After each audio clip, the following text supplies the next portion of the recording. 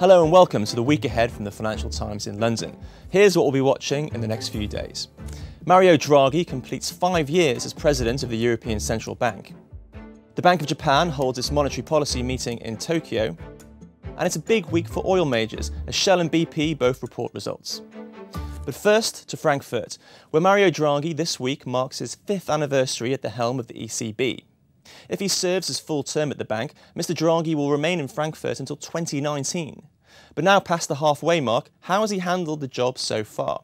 Well, before the crash, the normal way to assess how successful his term has been would have been to look at inflation. But Mr Draghi's time in charge has been anything but normal, as our Frankfurt Bureau Chief Claire Jones explains. In a word, those five years have been eventful. He's not only had to grapple a sovereign debt crisis, and a very significant economic crisis, but he's also had to deal with very, very low inflation. Now, inflation is usually the measure that we use to judge the success of central banks, and on that score, he hasn't done so well. The ECB is still really undershooting its inflation target of 2%, and he'll be disappointed in that. However, his statement that he would do whatever it takes to save the Eurozone did really stabilise a currency area which at one point looked in danger of collapse. By saying he'll do whatever it takes to save the Eurozone from collapse, Mr Draghi is credited with preventing a run on the bonds of the region's weakest members. The true measure of Mr Draghi's success could be whether that remains the case by the time he leaves Frankfurt. Next to Tokyo, where the Bank of Japan holds its monetary policy meeting on Tuesday. The BOJ made some big moves at its September meeting, capping the 10-year yield at 0% and promising to overshoot its 2% inflation target. But since then, economic news for Japan has been broadly positive, and business confidence has been strong. So the bank has very little incentive to act this month and is likely to stay on hold as it awaits further economic developments. Here's our Tokyo Bureau Chief Robin Harding on what to look out for this week's meeting. Two things. One, their inflation outlook, Will the BOJ postpone the date for achieving 2% inflation beyond 2018, which is the end of Governor Haruhiko Kuroda's term? Second, how are they going to operate their new yield cap? Markets are very interested in what happens if the 10-year bond yield falls well below 0%. Mr. Kuroda is likely to be asked about that his press conference.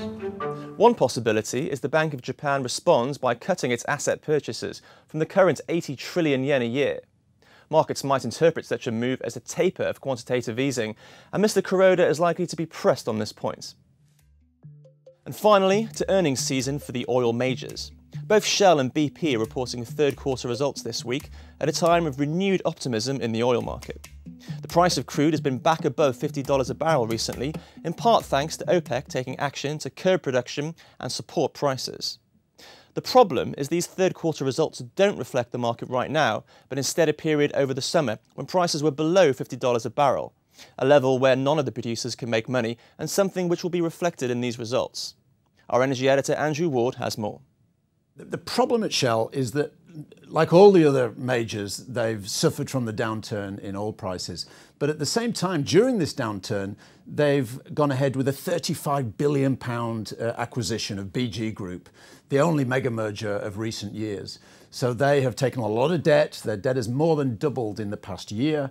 Um, so the fiscal strain on this company is greater than all the other companies. So they're desperately trying to shed assets uh, to raise cash to cover their dividend. So there'll be a lot of scrutiny on Shell's performance this week.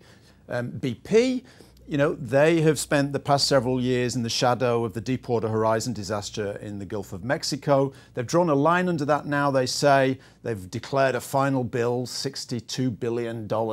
Um, that, they hope, gives them the ability to move beyond that um, and start to become a, a more normal company again. And that's what the week ahead looks like from the Financial Times in London. See you again next time.